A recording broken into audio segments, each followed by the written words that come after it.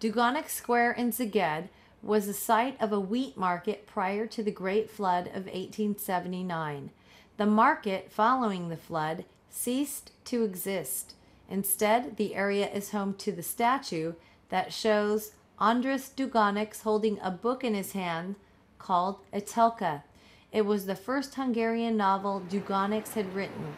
It was at this place that Professor Antal Horger dismissed renowned Hungarian poet Attila József, the university, for his poem With All My Heart published in the Szeged paper.